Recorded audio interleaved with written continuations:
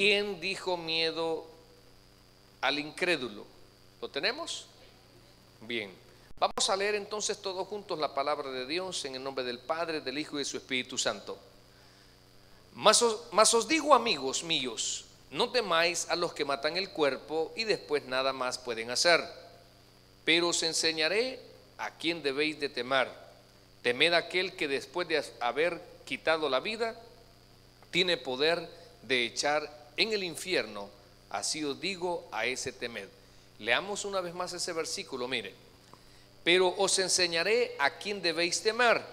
Temed aquel que después de haber quitado la vida, tiene poder de echar en el infierno. Si os digo a ese temed. No se venden cinco pajarillos por dos cuartos, con todo ni uno de ellos está olvidado delante de Dios. Pues aún los cabellos de vuestras cabezas están, ¿qué dice? Todos contados. No temáis, pues más valéis vosotros que muchos pajarillos. Una vez más le voy a leer lo último. No temáis, pues más valéis vosotros que muchos pajarillos. Vamos ahora, Padre. Gracias, Señor, por acordarnos que para ti valemos. Para ti, Señor, valemos la sangre de Cristo. Te pedimos en el nombre de Jesús que esta hermosa noche puedas utilizar los labios de este inútil predicador, que tu palabra pueda ser viva, pueda ser eficaz, Señor, en cada uno de nosotros.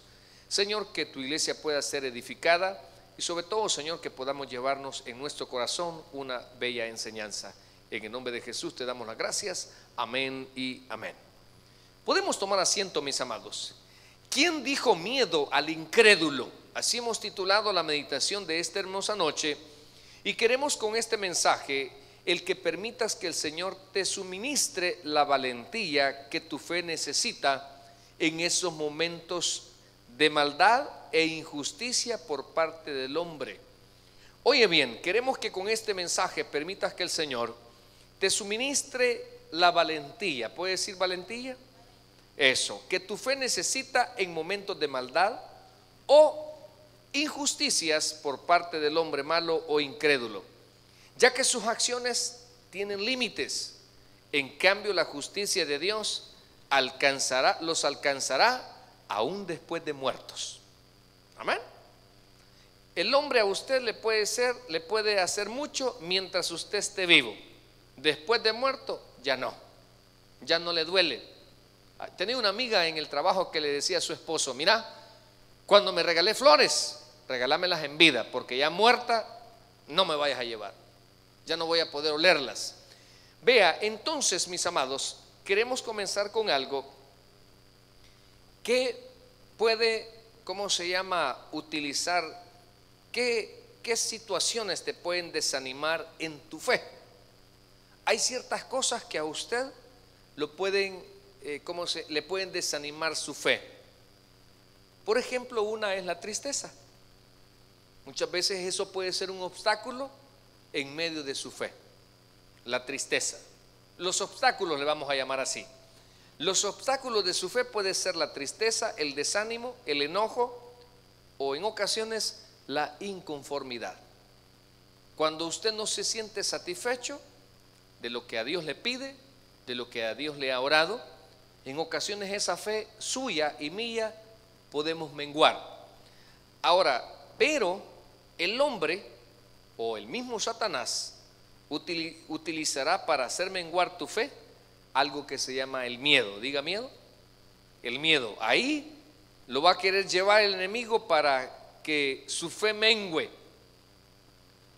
Ahora, puede utilizar, oye bien, al hombre común. Lo puede utilizar para que tu fe mengue o incluso en ocasiones puede usar a creyentes. Hace años, en nuestra iglesia se dio un incidente bien complejo, en la iglesia anterior. Llega una familia como de nueve miembros en un estudio bíblico. Se sientan de los nueve, reciben a Cristo ocho. Y una jovencita que estaba sacando su noveno grado no quiso recibir a Cristo. Dijo ella que lo iba a recibir el siguiente miércoles. el día viernes ella andaba de novia de un joven de las maras y se la encuentran en un barrio a él y a ella y los maneros pues de la banda contraria los persiguieron tratando de asesinar al novio. Pues claro, usted sabe que nosotros los hombres corremos más ligero que las mujeres, amén. ¿Ok? En ocasiones. Y se da la fuga este joven y deja a la novia. Esta novia, lastimosamente, le dan alcance y le asestan siete balazos. Pero a la par de ella iba otra jovencita de las que recibió a Cristo como su Salvador personal, ese miércoles. Y ella recuerda y dice que le dijo al, al que la primero matan a la jovencita, a la novia, a la que no quiso recibir a Cristo, y luego se dirigen a ella y la agarran del cabello y le dicen, hoy te vamos a matar a vos. Y dice que ella solo recuerda que les dijo, en el nombre de Jesús, no me mates. Viene el, el, este joven y después de estarle apuntando a la cabeza, le tomó el brazo y le asestó dos balazos en el brazo. Y dos milagros porque pues no la mataron y el segundo es que ninguno de, los, de, las, de las perforaciones tocó sus huesos. Ninguno. Ahora nos, lleva, nos llega la noticia, ellos vivían en un barrio de los más convulsionados en nuestro país, catalogado como uno de los más de, más violencia, el, que, el número uno. Nos da la noticia a nosotros, nosotros impactados, eh, tristes, lamentando una jovencita de, póngale, 14 años, totalmente truncada, su mamá destrozada. Y llegan a mi casa esa noche y me dicen, pastor, queremos que usted vaya a predicar a la vela. Ahora, hay algo complejo también que en las velas, cuando no matan al que andan buscando, en este caso sabían que el novio iba a estar en esa vela. Y los de las maras siempre tienden pues a vengarse y pueden hacer ciertas cosas en la vela. Ya se ha dado casos de que tiran bombas, granadas, llegan a matar gente. Bueno, se dan tantas cosas Recuerdo yo que mi hija tenía en ese entonces como unos ocho años. Y créame lo que en ese momento dije yo, no sé si ir o no ir. Pensando que van a, van a, decir que yo soy de la Mara, pues. Y quizás no tanto eso el temor, sino pensando en la vida de mis hijos. Bueno, yo no sé usted cómo qué pensará en ese momento, pero me fui al cuarto y siempre la palabra de Dios tiene algo bien especial, es viva y es eficaz. Y recuerdo que me llevó a ese versículo. No temáis a los que pueden matar el cuerpo. La cerré y agarré a mis hijos y les dije, vamos a ir a la vela. Solo les voy a pedir algo. Si ustedes escuchan una detonación de, una pistola, un balazo o, una explosión, por favor tírense al suelo. Y ahí íbamos con, ese, con esa incertidumbre, digamos, predicamos la palabra de Dios esa noche. Muchas almas se convirtieron para Cristo. Pero muchos, oiga bien, el enemigo puede eh, llevarlo a usted a que usted se llene de temor. Y ese temor puede pautar su fe. Fíjese, ese temor que usted muchas veces, si usted lo permite, ahora vemos acá el Señor que trata de inyectarles a sus discípulos valentía y que controlen el miedo, que no lo venza el miedo. Y mire, prueba de ello es que el Evangelio de Jesucristo después de más de dos mil años, se sigue predicando. Y han pasado muchas personas que han sido capaces de entregar su vida a negar su fe.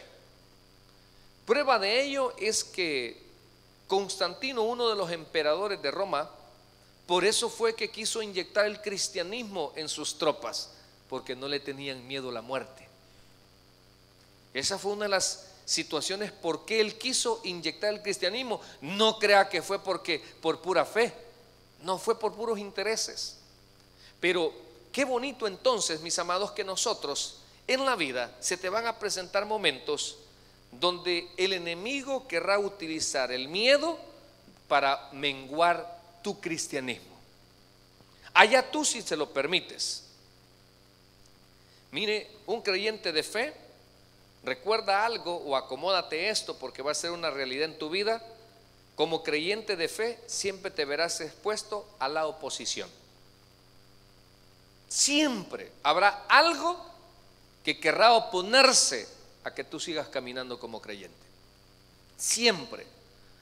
Ahora, la pregunta es,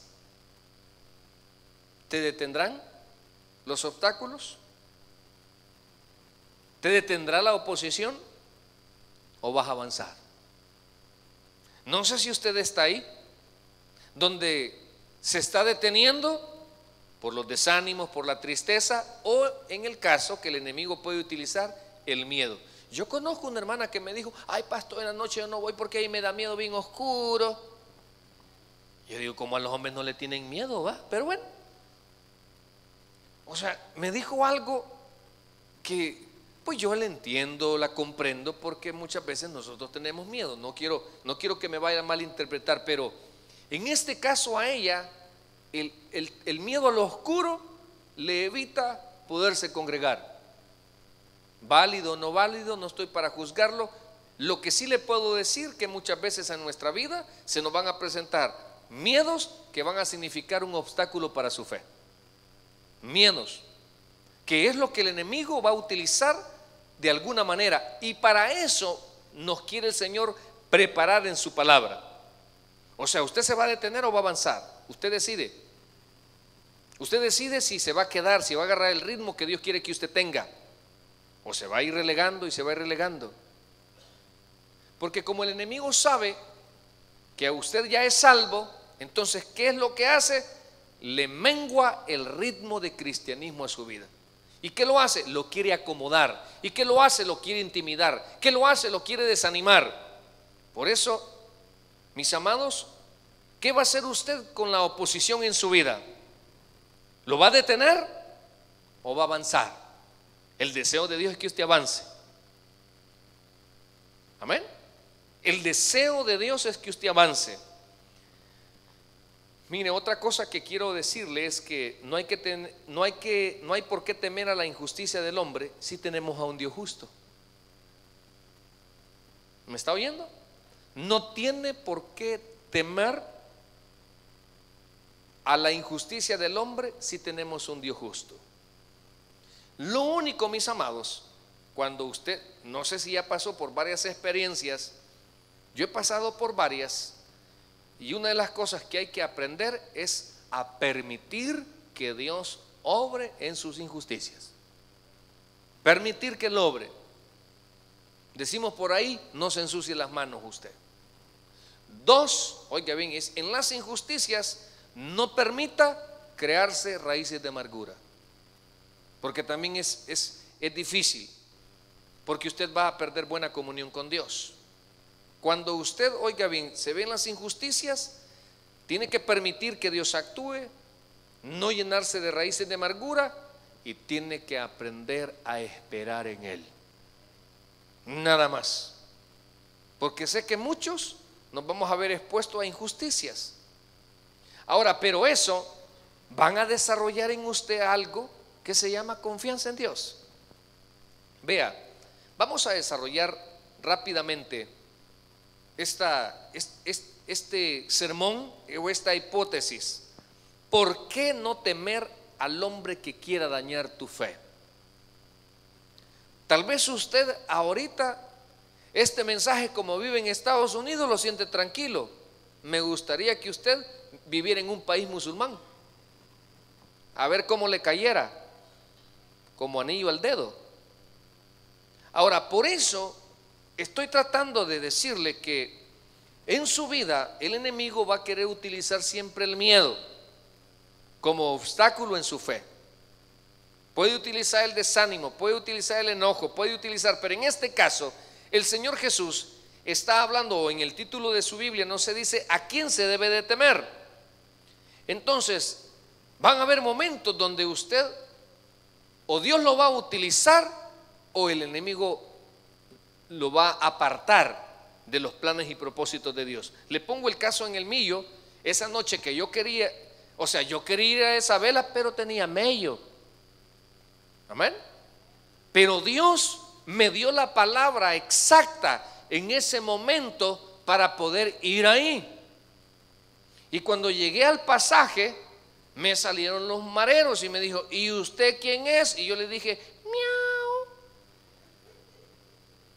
Le dije, yo soy un pastor y ando buscando la casa donde hay una vela. A él no le cobren, dijo. O sea, de los, de los 50 que estábamos en esa vela, a todos les pidieron un dólar. Fíjate, que había que pagar. Aparte de las monedas sencillas que había que llevar para jugar naipes, ¿me entiende, verdad? Pero qué triste, a él no le cobren. Y gracias a Dios no sucedió ningún incidente, gracias a Dios hubieron conversiones, gracias a Dios conocimos más a la familia, gracias a Dios nos abrieron puertas en el cementerio para predicar la palabra, gracias a Dios ganamos para Cristo al novio de la joven que habían matado. Pero ¿qué hubiese pasado si en esa ocasión uno se deja invadir del miedo? Perdemos ser parte de los planes y propósitos de Dios. Entonces, por eso le digo, veamos, ¿por qué mis amados no temer al hombre que quiera dañar tu fe?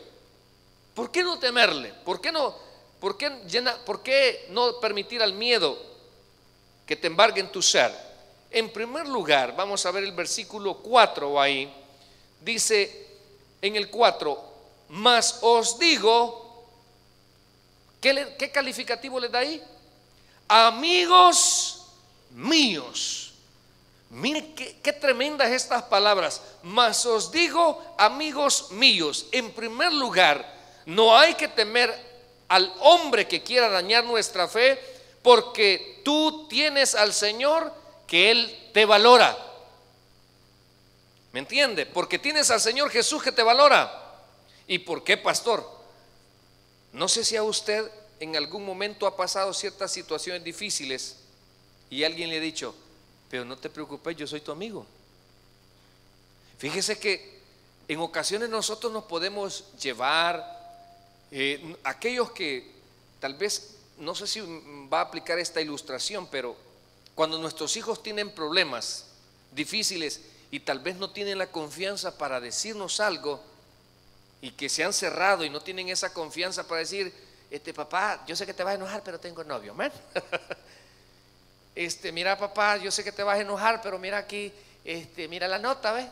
Este, este, perdóname. Ahora, pero para que usted logre que esa persona se abra, para que esa persona sienta confianza y para poder hablar en usted, ¿qué le dice? ¿Qué le decimos a nuestros hijos? Yo soy tu amigo. Amén. Y con el cincho, yo soy tu amigo.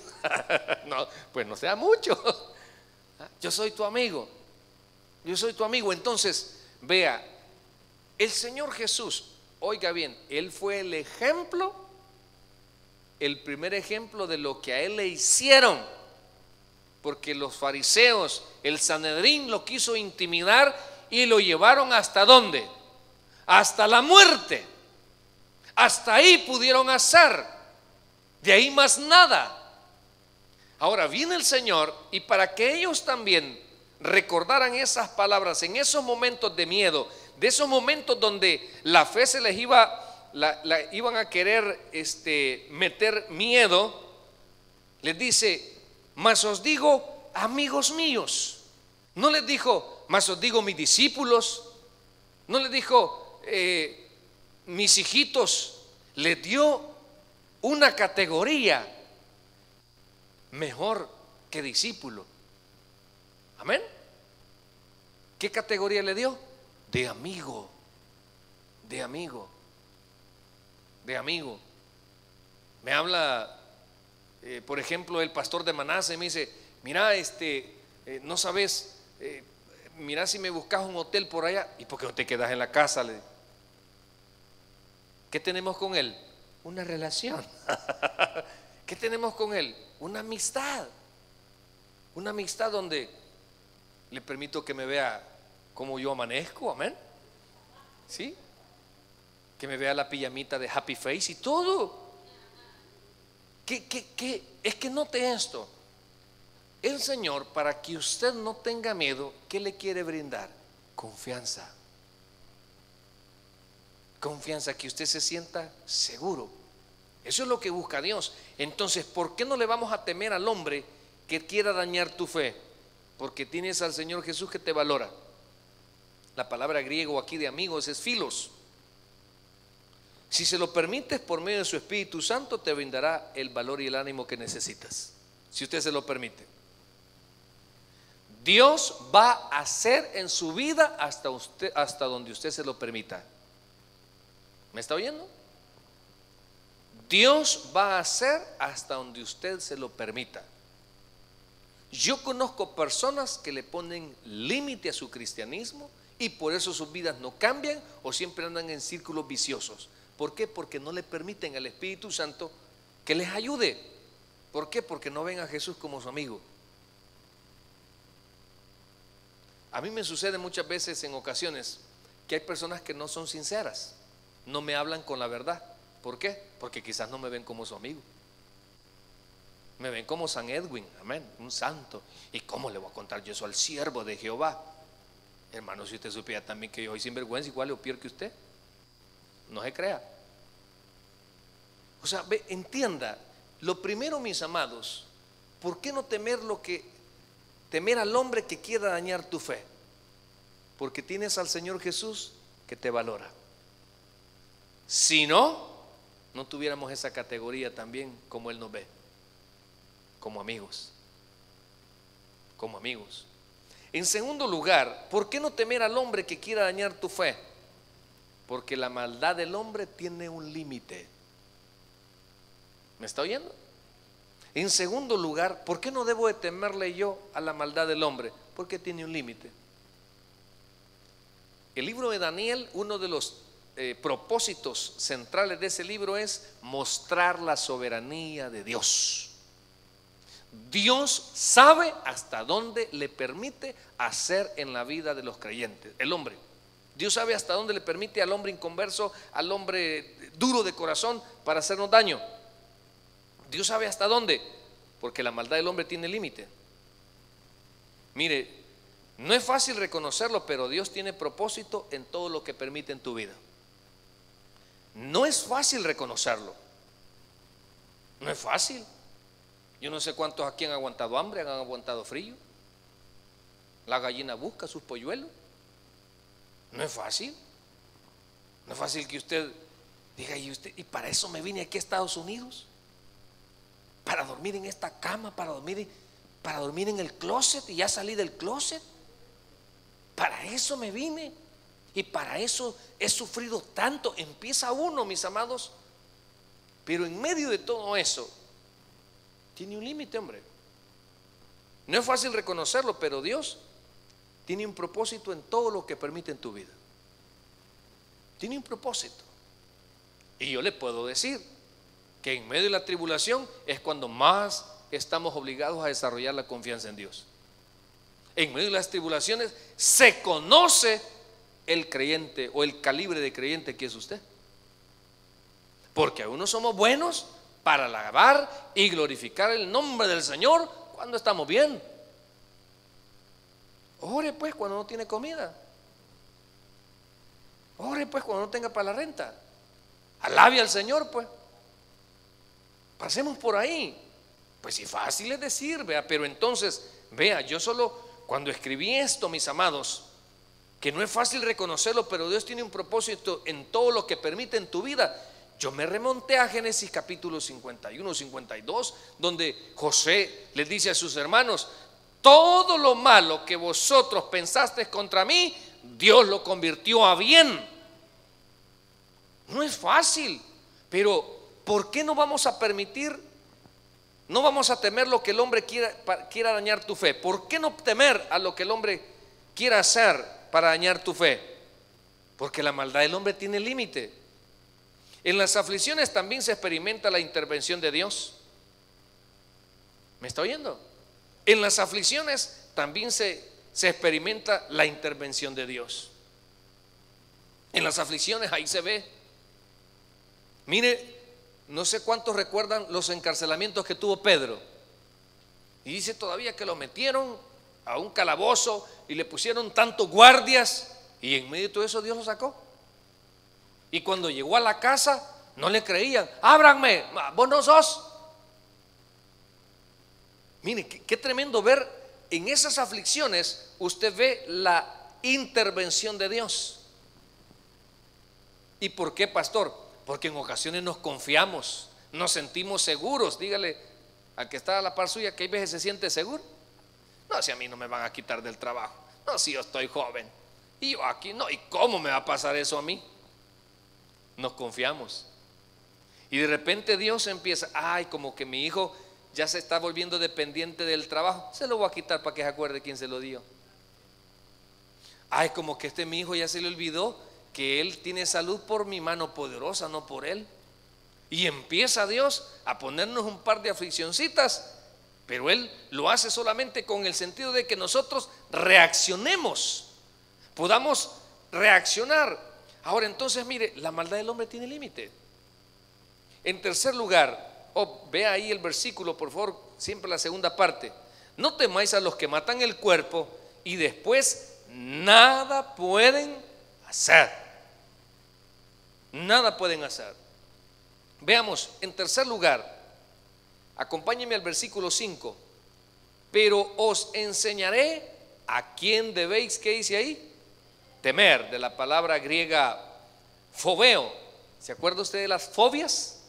Mire, por ahí viene el origen de la palabra. Fobeo. Tiene dos connotaciones. Temer y tener miedo o venerar y reverenciar.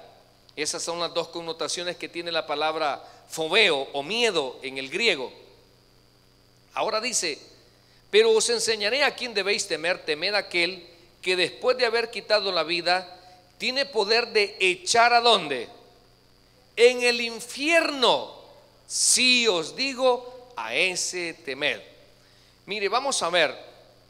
Quiero que me busquen algunos estos textos bíblicos. Hermano Helio, búsqueme Mateo 5:22, por favor. Hermano Yuri, Mateo 5:30.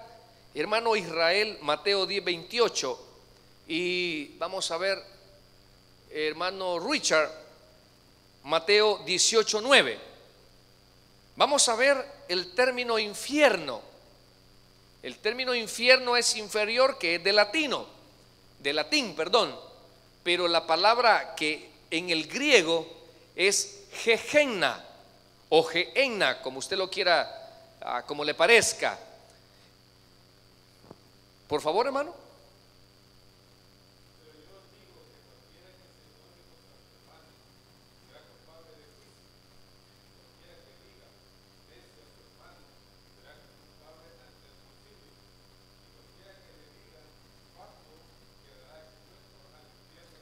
Al infierno. Ahí la palabra es jejenna. Ajá, jejenna. Vamos a ver el siguiente, hermano. Mateo 5:30.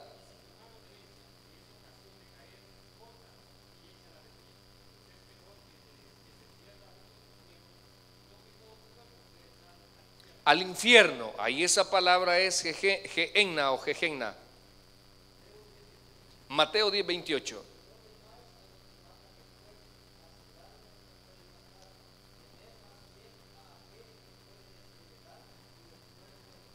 Amén. Y la última, Mateo 18, 9.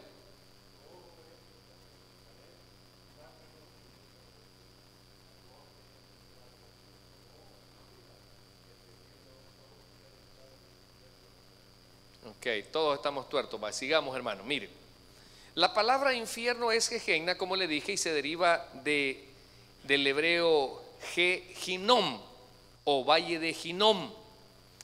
Esto quedaba al suroeste de Jerusalén. Yo no sé cuántos estudiantes se acuerdan cuando vimos la ciudad de Jerusalén. Esto queda al suroeste, allá por el estanque de Siloé. Ahí está el valle de Ginom. Mis amados, eh, esta, e, ese era un lugar En el principio fue donde un rey llamado Acaz, él ofreció varios de sus hijos al dios Moloch. Pues en ese lugar, ese lugar edificado, dio origen a muchos, a que muchos reyes quemaran a sus hijos en adoración al rey Moloch. Pero, ah, ¿cómo se llama? El rey Josías, el rey de Judea, al destruirlo, los lugares de adoración pagana, también convirtió aquel lugar en un lugar para quemar desperdicios. O sea, al rey Josías, oiga bien, se le atribuye que convirtió ese lugar, en vez de ser un altar para ofrecer a, los niños en holocausto, en fuego, lo, lo sustituyó y fue un lugar donde se quemaba basura. Y por eso viene del hebreo ginom, jejenna, que quiere decir la morada de los sin Dios. Eso significa jejenna. Ahora, veamos un poco de esto, mis amados. Eh, ¿Qué más tenemos? Mire, ¿por qué, ¿por qué no temer a lo que el hombre quiera dañar tu fe? Dice, pero os enseñaré a quién debéis temer en el 5. Temed aquel, temed aquel que después de haber quitado la vida, tiene poder de echar al donde dice, al infierno. Repasando el infierno ahí en la palabra Jejeina, que era un lugar donde se quemaban los desperdicios y siempre había fuego. Y fue la manera de poder ilustrar de nuestro Señor Jesucristo el destino para aquellos, oiga bien, que rechazaron al Mesías. Veamos. Y para terminar, ¿por qué no temer al hombre, no temer al hombre que quiera dañar tu fe? Por último, por último, mis amados, porque nunca estarás olvidado para Dios. Mire en el versículo 6, comienza con una pregunta. ¿No se venden cinco pajarillos por dos cuartos? También otras eh, traducciones lo, lo traducen como gurriones. No se venden cinco pajarillos por dos cuartos. ¿Qué dice ahí? Con todo, ni uno de ellos, ¿qué pasa? Está olvidado delante de, dos, de Dios. Pues aún los cabellos de vuestra cabeza están, ¿qué dice? Todos contados. No temáis, pues ¿qué dice? Más valéis vosotros que muchos pajarillos. Entonces, en cuarto lugar, mis amados, ¿por qué no de temer a lo que quieras dañar? ¿Por qué no temer? ¿Por qué no temer al hombre que quiera dañar tu fe? En cuarto lugar, porque nunca estarás olvidado por Dios. Nunca. Nunca, mis amados. Sé que muchas veces las cosas que no nos salen pensamos, ¿será que Dios me ha olvidado? ¿Será que Dios no está pendiente de mí? ¿Cómo no? Lo que pasa es que, al menos en el creyente, las pruebas son el entrenamiento y desarrollo de su fe.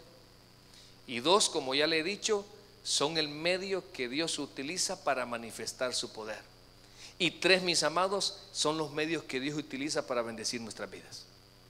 Entonces, por favor, yo sé que van a haber momentos donde el enemigo le va a querer meter miedo, incertidumbre, temor a su fe. Y pueden pasar dos cosas nada más, como a muchos, o se quedan o avanzan. Yo espero que usted y yo avancemos y nos mantengamos siempre tras la meta de nuestra fe hasta que Cristo venga. Le damos un fuerte aplauso al Señor, vamos a orar. Amantísimo Padre que estás en los cielos, gracias te damos por tu palabra. Te pedimos en el nombre de Jesús.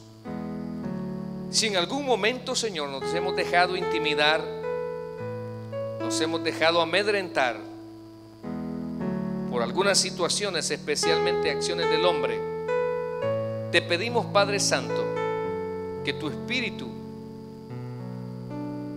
el otro consolador. Ahora que has escuchado el mensaje de la palabra y Dios ha tocado tu corazón, te invitamos a que recibas a Jesús como tu único y suficiente Salvador personal. Repite después de mí esta oración. Cierra tus ojos. Señor Jesús, yo te recibo hoy como mi único y suficiente Salvador personal. Creo que eres Dios, que moriste por mí en la cruz por todos mis pecados y que resucitaste al tercer día. Gracias doy al Padre por haber enviado a su Hijo a morir en mi lugar. En Cristo Jesús, mi Salvador. Amén y amén. Bienvenido a la familia de Dios. Queremos invitarte a que te puedas congregar con nosotros en nuestra iglesia, el Tabernáculo Bíblico Bautista Amigos de Israel, Hollywood. Estamos ubicados en el 854 North Western Avenue, Los Ángeles, California 90029. Será un gusto tenerte donde predicamos la sana doctrina. Te esperamos.